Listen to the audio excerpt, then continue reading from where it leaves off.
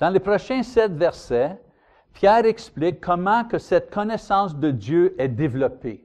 on comprend l'idée. Dieu s'est ouvert complètement pour qu'on puisse le connaître à travers Jésus-Christ. OK, maintenant, comment qu'on peut le connaître? C'est quoi le processus? C'est quoi, comment qu'on fait ça, cette affaire-là? Eh bien, c'est un effort coopératif qui inclut Dieu, le Christ et l'individu. Et voici la façon que ça fonctionne. Premièrement, Dieu a créé l'univers et l'homme et met tout en motion. Après que l'homme euh, est coupable du péché, il perd la connaissance et la relation qu'il avait avec Dieu est condamné à souffrir la mort avec la création. Pourquoi? Parce qu'il est ignorant de Dieu. Pour ça. Pourquoi qu'on est condamné? On ne connaît pas Dieu. Pour ça qu'on est condamné. Deuxièmement, Jésus vient sur la terre et il paye la dette morale pour les péchés des hommes qui le permet de nouveau de connaître Dieu et d'avoir une relation avec lui et donc être sauvé de la destruction et la mort que le monde et cette terre va souffrir un jour. Troisièmement, l'homme répond à Dieu et au Christ à leur effort et offre en recevant de nouveau la connaissance de Dieu et le réétablissement de sa relation une fois de nouveau avec Dieu et le Christ. Donc, en versets 5 jusqu'à 11, Pierre explique la partie de l'homme. C'est quoi, c'est quoi l'homme doit faire pour connaître Dieu et comment cette connaissance euh, va changer sa vie? Il explique le processus de, développement qui nous amène à une plus grande connaissance de Dieu. Et cette plus grande connaissance de Dieu nous donne une plus grande joie et paix, etc., etc. Ça, on lit versets 5 à 7. À cause de cela même, faites tous vos efforts pour joindre à votre foi la vertu, à la vertu la connaissance, à la connaissance la maîtrise de soi, à la maîtrise de soi la persévérance, à la persévérance la piété, à la piété la fraternité, à la fraternité et l'amour. Ça commence avec un effort. Un effort, un engagement, une résolution au processus même, du zèle. On ne peut pas connaître Dieu si on est tiède. Si on est tiède, on ne peut pas connaître Dieu. Dieu va toujours se révéler et récompenser ceux qui cherchent pour lui. Hébreu chapitre 11, verset 6. Donc, euh, après avoir établi l'attitude, l'attitude, c'est un effort, je fais un effort. Pierre liste sept euh, couples de vertus euh, que quand on poursuit ces vertus, il nous amène à une plus grande connaissance de Dieu et ça, ça produit en nous la paix et la joie. Premier couple la foi et la vertu ou l'excellence morale. Ça commence avec la foi en Dieu et ce que Dieu dit. Et ça, naturellement, on suit avec l'action, on fait ce que Dieu dit.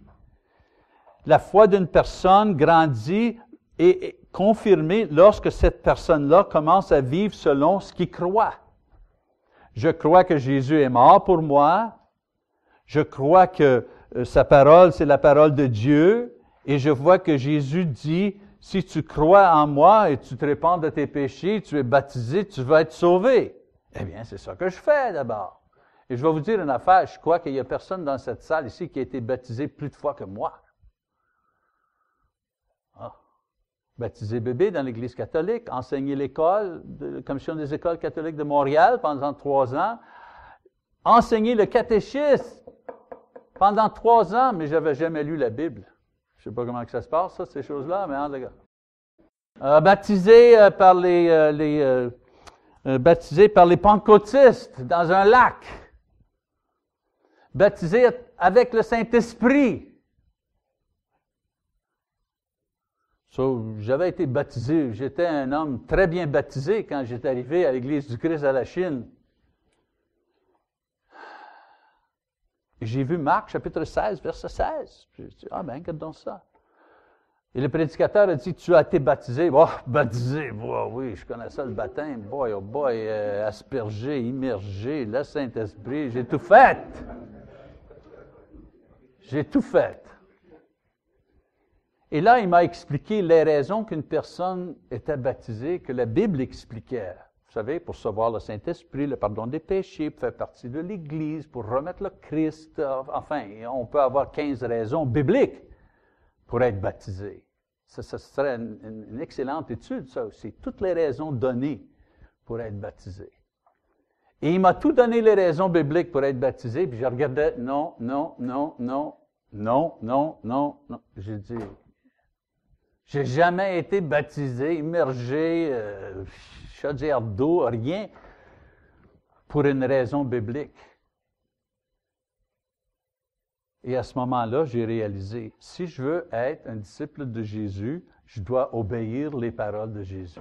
Et donc, j'ai été baptisé pour une cinquième fois. Mais ce fois-là, c'était la dernière fois. Parce que quand quelqu'un dit, et tu es certain que tu es chrétien? Oh oui, je suis certain. je peux vous montrer la page, le, passage, plusieurs passages même. Donc, euh, ce que je, compte cette histoire-là pour souligner l'idée la foi, on commence avec la foi. Et euh, la foi, on suit ça avec l'obéissance. Deuxième couple, la vertu et la science. À une bonne, une, une bonne vie pure, on ajoute la connaissance. Ici, le mot là, la science, c'est pas la connaissance de Dieu, ça. C'est un autre mot qu'on doit servir pour, pour, dire la connaissance de la, et science. C'est bon en français, en anglais, on dit, on dit knowledge. Il y en a beaucoup qui pensent que knowledge, c'est la, la, connaissance de Dieu, mais ce n'est pas ça.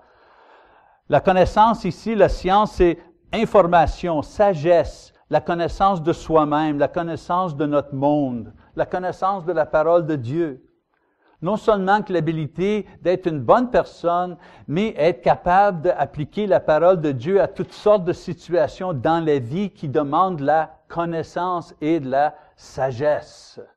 Ajoute à ta vertu, ta bonne vie, sagesse. Troisième couple. À ta science, la tempérance. À la connaissance, le contrôle de soi une personne sage devient une personne prudente. Une personne qui connaît bien les choses commence à comprendre la nature de l'ennemi spirituel et la force de l'ennemi spirituel. On n'a pas, nous, la force de surmonter sur le diable toute seule. Une personne qui comprend, qui connaît, qui se contrôle même, qui contrôle sa langue, contrôle ses pensées, c'est la manière le plus sûre de maintenir non seulement notre foi, mais notre excellence morale. Combien de frères et sœurs ont perdu leur foi parce qu'il n'y avait pas un contrôle de soi-même? Ils aimaient trop leur péché charnel. Quatrième couple, la tempérance et la patience, la persévérance, le contrôle de soi et la persévérance. Vous savez, moi j'appelle en anglais on dit les ABCs, vous savez, les premières choses, les premiers principes de la, de la vie chrétienne.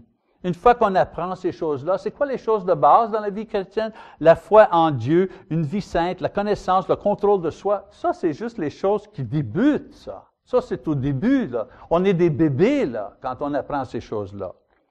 La clé, c'est de continuer dans ces choses-là, peu importe ce qui arrive.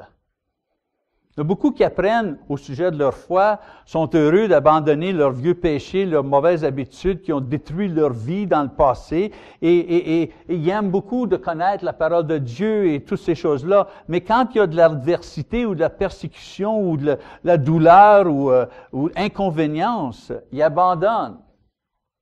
Pierre dit que un lien important dans la chaîne de développement, c'est de cultiver l'habilité de persévérer dans les choses qu'on a déjà apprises, les, habitudes qu'on a déjà acquis. Cinquième couple. Patience et piété. Voici le point où il y a une transformation, où que la nouvelle personne devient plus évidente. Euh, en anglais, on dit lift. Lift, décollage. Vous voyez un avion, peut-être tout le monde a pris l'avion. Hein? L'avion est, sur terre, hein? puis on part, puis on est à terre, puis on roule, on roule. 50 000 à l'heure, 60 km à l'heure, 100, 200. Et à un moment donné, on, touche à terre et on va très vite. À un moment donné, on a décalage, lift. Tout d'un coup, on va dans les airs. On n'est plus à terre. Bien, point numéro 5, là, c'est à ce point-là qu'on a lift spirituel. Il y a beaucoup de gens, je, vais expliquer, il y a beaucoup de gens, pour différentes raisons d'entraînement, d'idéalisme, de, manque de contrôle, sont sages, sont, sont prudents, sont persévérants, mais juste ceux qui peuvent développer ces qualités dans un contexte chrétien peuvent commencer avoir une piété dans leur vie. Piété veut dire d'être plus comme Dieu qu'on est comme l'homme.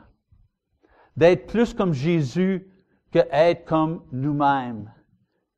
Qu'on appartient plus à l'Église qu'on appartient au monde. Il y a du monde là qui arrive à numéro 5 et il reste là. C'est comme, ça serait comme un avion là, qui est toujours à terre. Tu veux aller Lyon-Paris ou Lyon-Genève, puis tu embarques sur l'avion, puis embarques sur la, grande route, là, puis ils sont sur le highway. Ils vont jamais dans les airs. C'est un avion. C'est un chrétien. Mais c'est jamais un chrétien qui lift. Jamais décollage. Notre régénération spirituelle est, définitivement, euh, euh, commence définitivement à être euh, visible à ce point-ci. C'est le numéro 5 où qu'on a décollage spirituel. Voilà, numéro 6, couple numéro 6, piété et amour fraternel.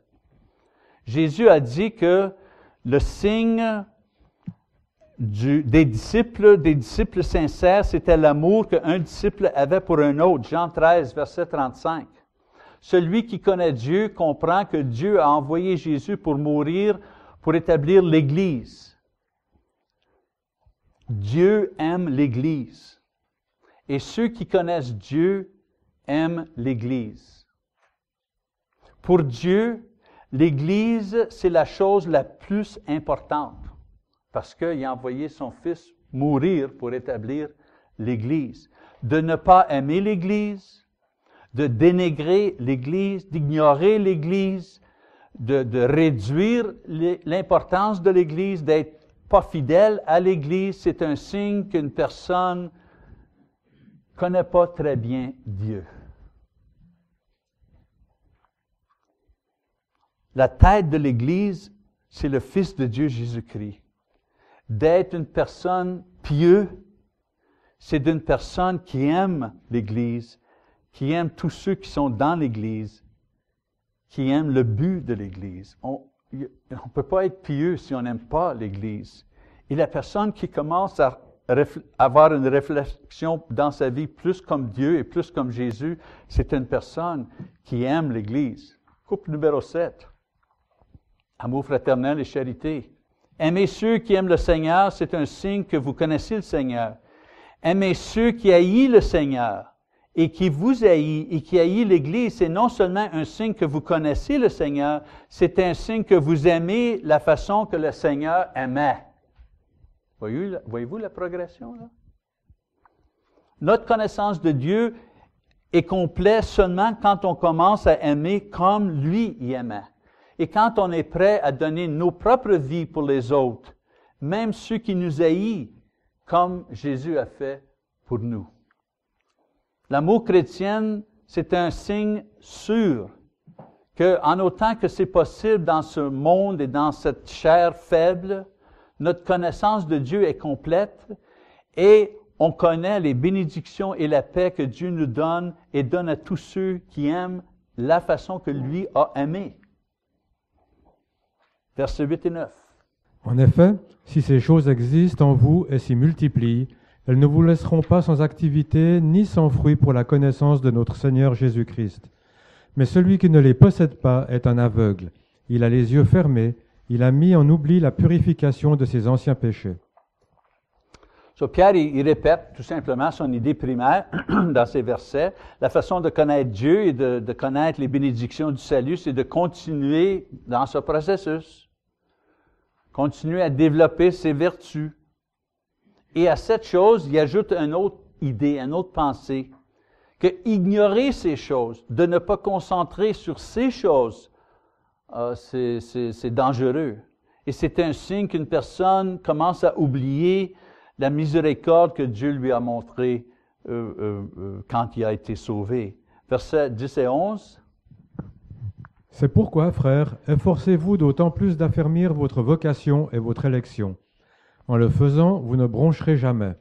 C'est ainsi que vous sera largement accordée l'entrée dans le royaume éternel de notre Seigneur et Sauveur Jésus-Christ. Sur un dernier mot d'encouragement, il répète le mot original, efforcez-vous, faites un effort, portez attention, restez concentrés sur ces choses. Et si vous faites ça, plusieurs choses vont arriver dans vos vies. Premièrement, vous vous sentiez en sécurité. Sécurité de votre salut, pas sécurité de votre salaire, parce que ça, hein, c'est dans le monde. Sécurité de votre salut. Il n'y aura pas de culpabilité, il n'y aura pas de crainte de la mort, il n'y aura pas de, crainte du jugement parce que vous êtes certain que vous allez au ciel. La connaissance de Dieu amène une plus grande sécurité. Je ne sais pas vous, mais moi, dans mon travail, certains Doyle aussi dans son travail, euh, j'ai vu beaucoup de gens mourir à l'hôpital, à toutes sortes de places. Même des gens que je, je tenais leurs mains, je les tenais dans mes bras, ils sont morts dans mes bras. Dans le milieu d'une prière, quelqu'un est mort. Et je peux vous dire une chose, sûre et certain, quand une personne est près de la mort, quand je leur parle, même si c'est pas un membre de l'Église, il ne me demande pas euh, est-ce que mes parts en GM ont bien fait sur la bourse? Est-ce que tu as oublié d'amener mon auto pour faire remplacer l'huile? Est-ce que tu t'es assuré que mon hypothèque a été payée à temps? Jeunes, vieux, hommes, femmes, croyants, non-croyants, c'est toujours la même chose dans le dernier moment. Ils disent toujours, est-ce que je suis correct? Am I okay? Je suis correct? Je peux-tu partir? C'est toujours ça la question. C'est pour ça qu'on devrait rester focusé, concentré sur les choses que je vous dis maintenant. Parce que ça va tout nous arriver. Et quand on arrive à ce point-là, on veut se dire, Hallelujah, I'm okay. Let's go. Je suis prêt à partir. Deuxièmement, si vous concentrez sur ces choses, vous pécherez moins. Je sais pas vous, là, mais moi, là, je suis tanné de pécher, OK? je suis tanné. Ah! La meilleure chose qui va au ciel, tout le monde dit, quand je vais être au ciel, ah, je veux parler à Pierre, je veux parler à Abraham, je veux... Moi, là, au ciel, là, sais-tu qu'est-ce qui va être fantastique? Plus de péché. Plus, de- choses imbéciles que je dis ou je pense. Plus de péché pour vous. Tous ceux que je rencontre, personne, pas de péché. Ça, ça va être une grande joie. Parce que le péché, ça cause le trouble, la peine, la, douleur. Ceux qui sont diligents dans les choses ici, là, que Pierre dit, vont pécher moins, perdront pas leur foi, vont être sûrs de leur salut. Je veux pas pécher plus, moi, je veux pécher moins. Troisièmement, vous connaîtrez Dieu. Vous allez connaître Dieu de plus en plus et son Fils Jésus-Christ. Maintenant, euh, Pierre décrit cette, affaire-là de connaître Dieu comme entrer dans le royaume. Il sert de différents mots pour, différents mots pour expliquer la même chose. Le changement que nous allons avoir, c'est le, procès d'être transféré de ici sur terre au ciel.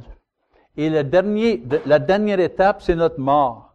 Mais Pierre nous dit que ceux qui pratiquent ces choses, ici maintenant, ces vertus, vont connaître un transfert accéléré de cette place ici jusqu'au ciel. Autrement dit, on commence tout de suite à, goûter ce qu'il y a là-bas. Et je vais vous dire une chose, mes frères et sœurs, quand vous commencez à goûter vraiment qu'est-ce qu'il y a là-bas, il n'y a plus rien qui, qui vous retient ici. Il n'y a aucune raison pour vouloir rester ici.